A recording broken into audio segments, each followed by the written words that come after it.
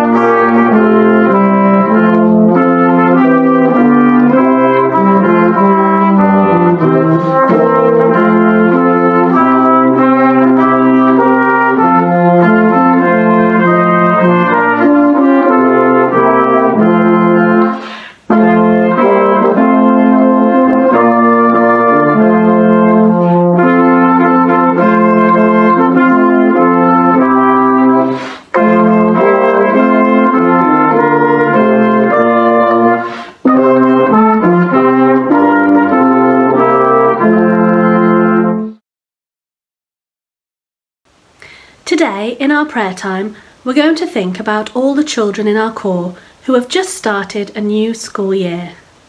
For me, September always feels like a fresh start, a new beginning after the summer holiday period. But it can come with worries and nervousness, even for those children who've been attending school, nursery, or university for a long time. We also have many educators in our church teachers, teaching assistants, and head teachers who we'd also like to focus on during our prayer time today. First, please spend some minutes thinking about and praying for the children in our church. Their first names will run across the screen over the next few minutes as we begin our prayer time. Then Violet and Henry will bring us some back to school prayers.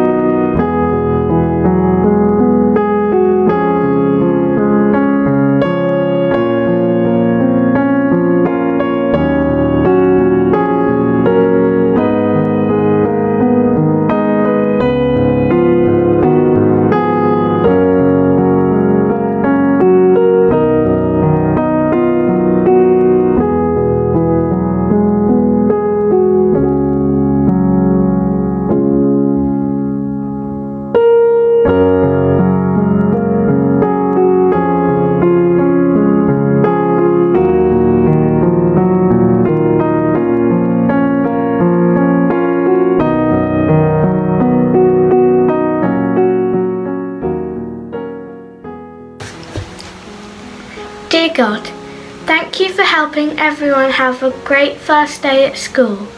Please help all those people starting a new school, starting nursery or primary, all those people getting a new teacher, and all those people moving up year. Please be close to them until the end of the school year.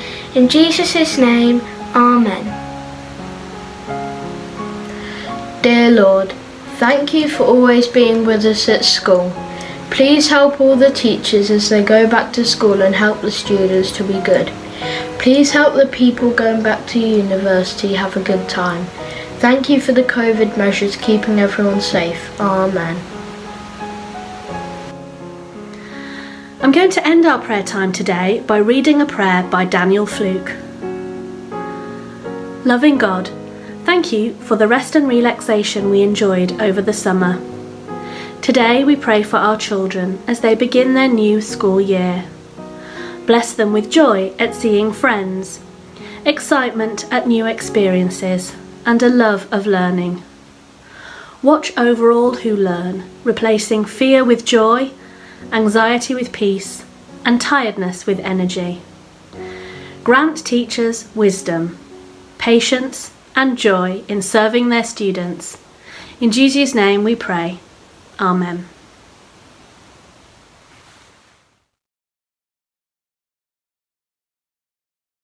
Good morning. Thank you to Helen and the children for a lovely time of prayer together. Now, something for the youngsters, so come on, gather round um, and let's share a moment or two with you. I'm going to show on the screen uh, some pictures that I've found of animals at rest. So animals sleeping in, in very strange places. And um, this morning I've chosen this because we're going to be thinking about the words that Jesus said to come to him and rest. And so just for a few moments now, take pleasure in watching these animals.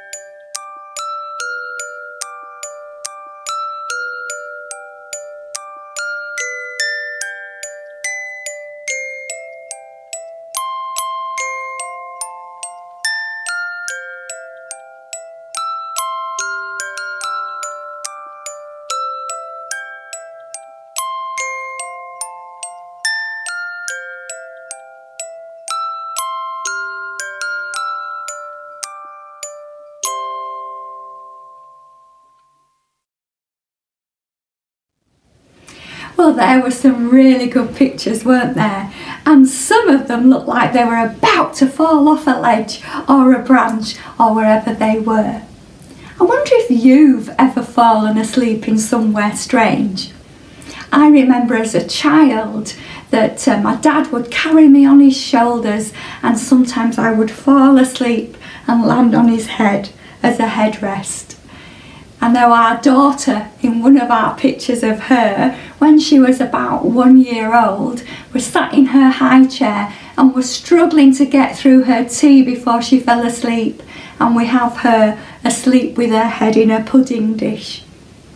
It might be that you've fallen asleep in the car late at night. Perhaps you've been out to a family gathering and mum and dad have had to carefully carry you out of the car and put you in your bed so when you've woken up, you've actually woken up in your room.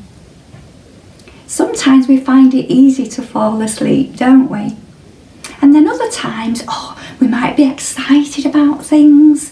I know Christmas Eve is always a difficult evening uh, for us to go to sleep. Reminds me of Jesus.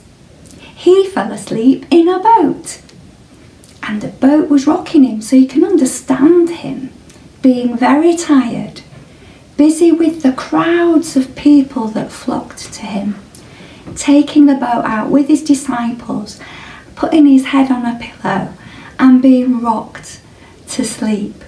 And even when a frightening, loud, crashing storm came and frightened his friends, the disciples, he still slept peacefully. And you know what, kids? I think that was because he knew the peace of God deep within his soul. He knew that he was safe. And I want us to think the same. I want us to know, no matter who we are, what age we are, whether we're youngsters or we're old like me, we can know God's peace and rest within our lives. So when you go to bed tonight and you're all tucked up cosy, just remember God loves you and He's with you and He wants you to rest in His presence. We're going to sing now, and it's the lovely song, Lord, I Come to You. Let's sing.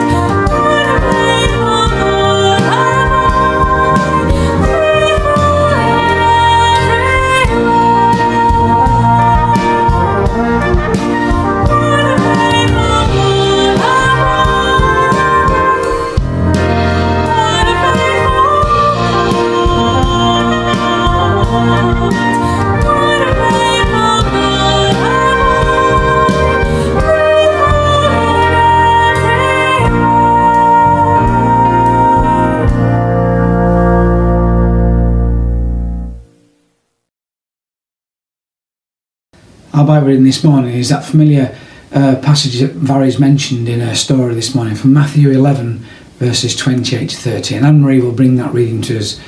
But after we've heard the reading, we're going to sing that song, O Love Revealed on Earth in Christ. But first of all, let's listen to the Bible reading just now.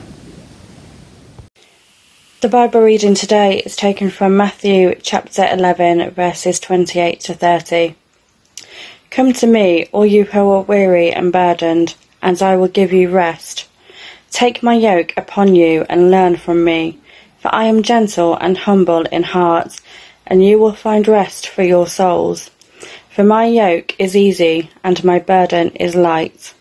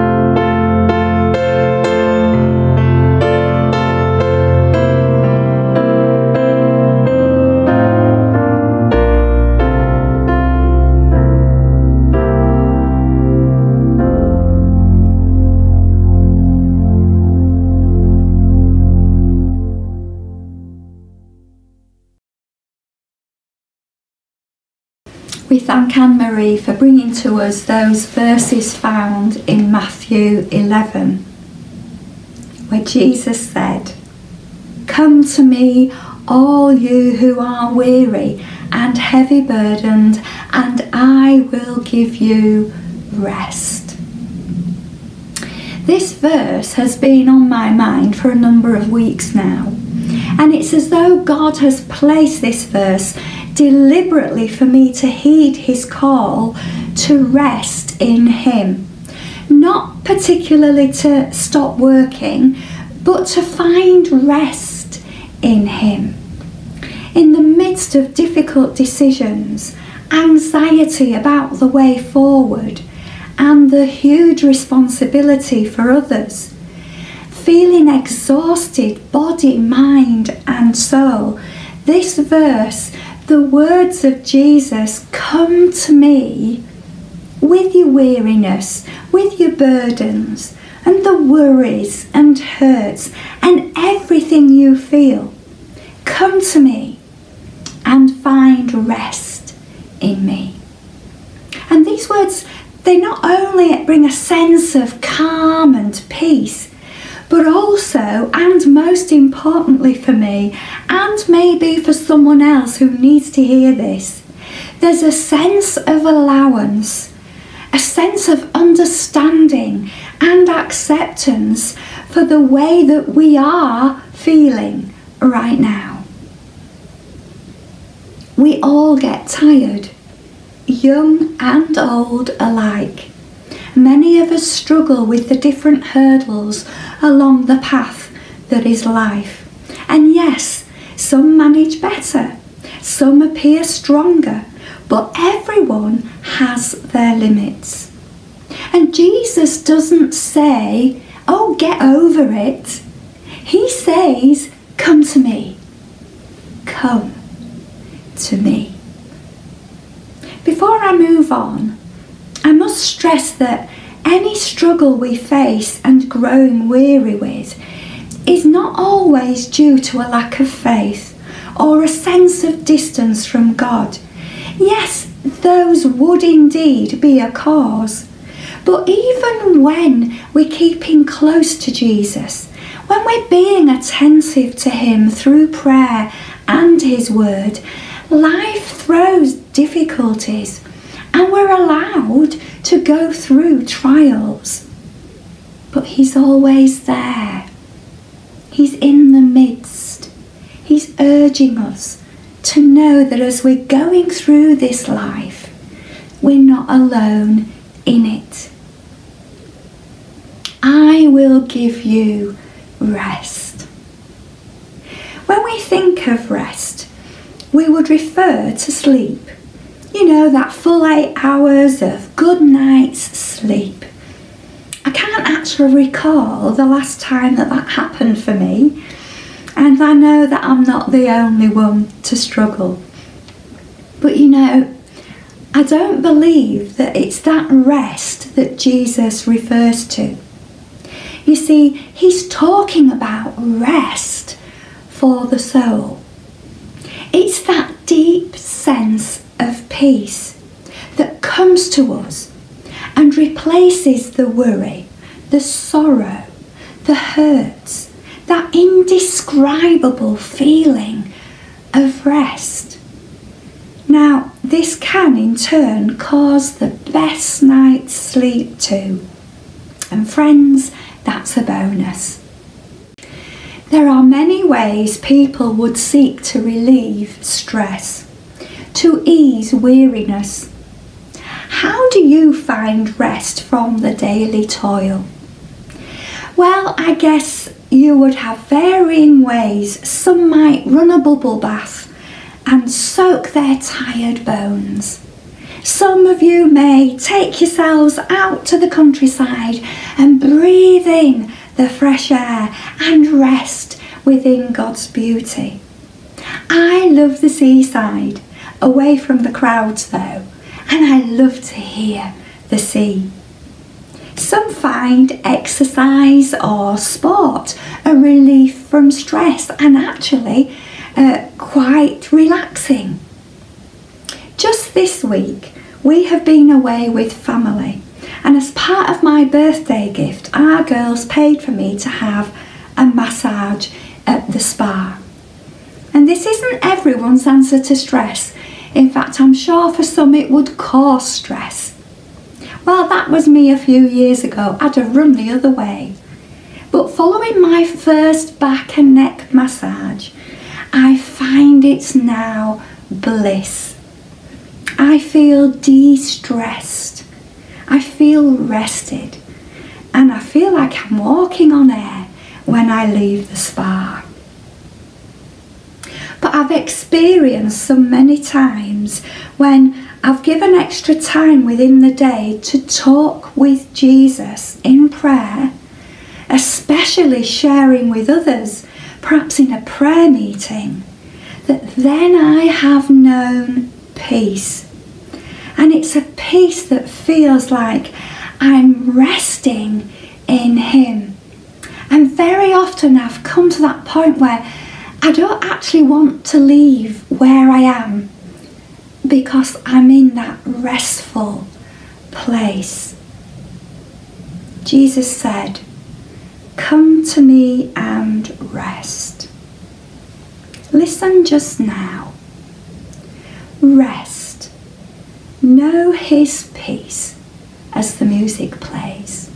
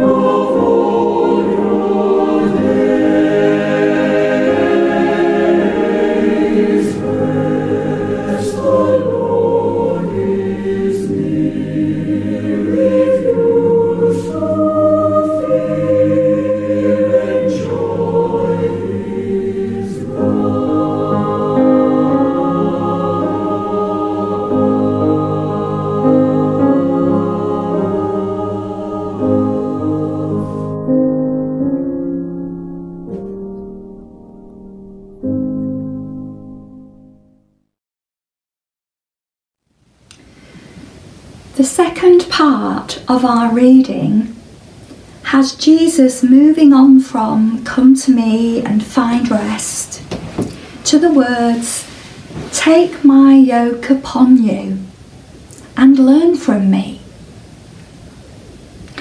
Now, reference to a yoke, the bridle worn between two oxen, speaks of hard work. And to learn something takes effort and concentration. So it's almost like he's gone to the other extreme from uh, coming to him for rest, but calling us to work and to learn. In the more modern translation, the message, uh, these words are said like this I'll show you how to take real rest. Walk with me and work with me and watch me. So Jesus is saying that to, to rest is to walk. To rest is to work and to watch. When Jesus called the first disciples to follow him, they were able to do this literally. They left their homes, their families, and employment and went with Jesus. They lived with him throughout his earthly ministry. Modern day disciples today are still called to walk with Jesus. Although we cannot do this physically, we walk with him spiritually. We walk in faith. He promised to always be with us in the onward walk of life. He is our shepherd and we are his flock. He walks with us, he protects us, and he guides us. For most Christians, we would describe our Christian experience anyway as walking with the Lord. To walk with Jesus is a simple description of being a follower, a disciple. It's being willing to accept Him into our lives as we journey this life in His will. And so, in all the turmoils, the problems, and stresses, if we have Jesus as our Saviour and friend and rely on Him, we will know peace and our souls will know perfect rest. When we read the Gospels, we see Jesus teaching his disciples as they journeyed together. We learn many things in life by observing others. And as we walk with Jesus and learn from him, so we, like the first disciples, are then able to join him in his work. Jesus said, Take my yoke upon you. In that, he invites us to share in the work that he calls us to do. He isn't leaving it to us, he is sharing the load. And if we listen to those words again, we are reminded that we're not just sharing that yoke equally, but he is taking the heavier burden. And he says, Our burden of the yoke is light.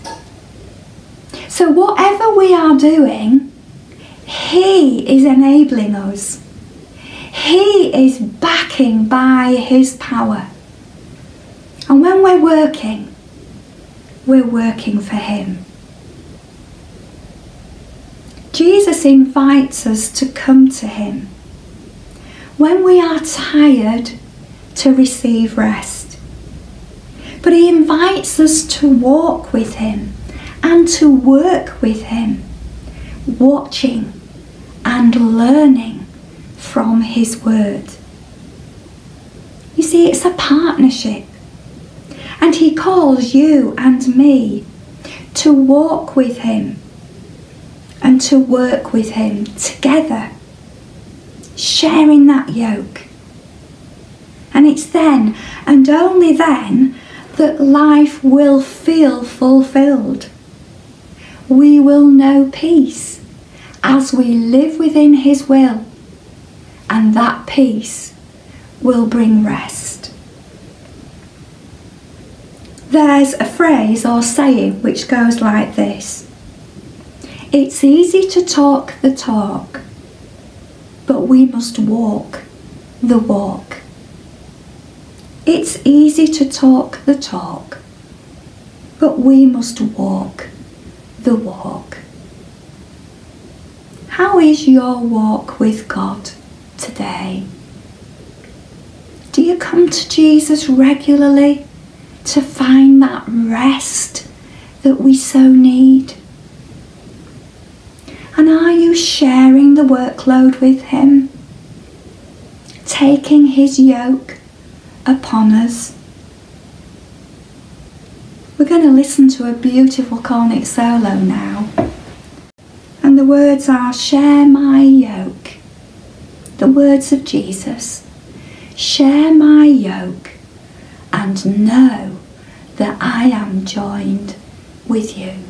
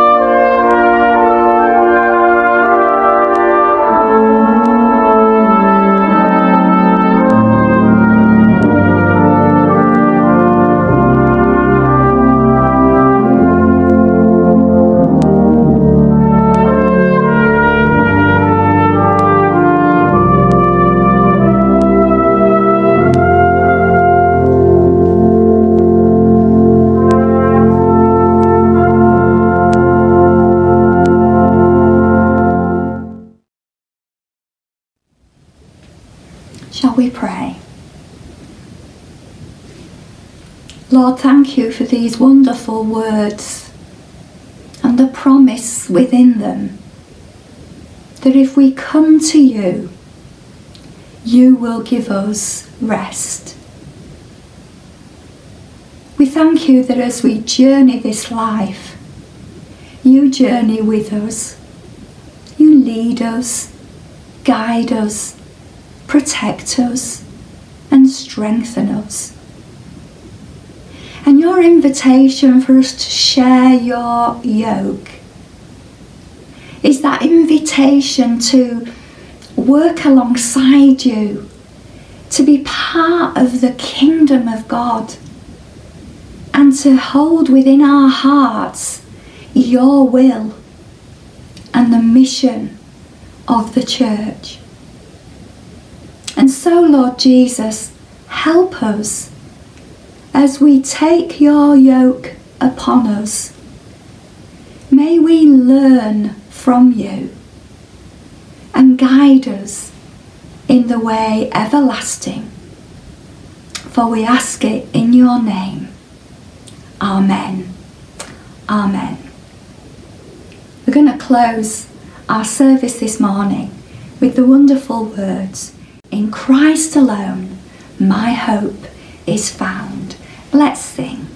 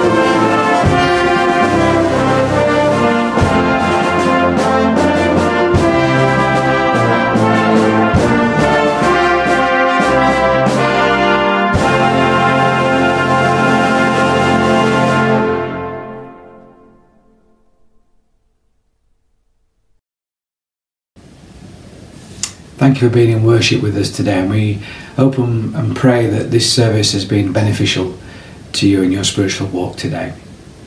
Next Sunday, the 12th, sees us joining together once again for live worship back at the hall in Coventry. There will be a recording of that service each week, but it won't be shared online at the usual time of 10:30. It will be made available hopefully later on in that day.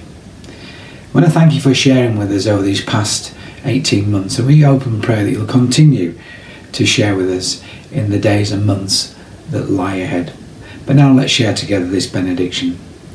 May the beauty of God be reflected in your eyes, the love of God be reflected in your hands, the wisdom of God be reflected in your words, and the knowledge of God flow from your hearts, that all may see, and in seeing, believe. Amen. God bless you all.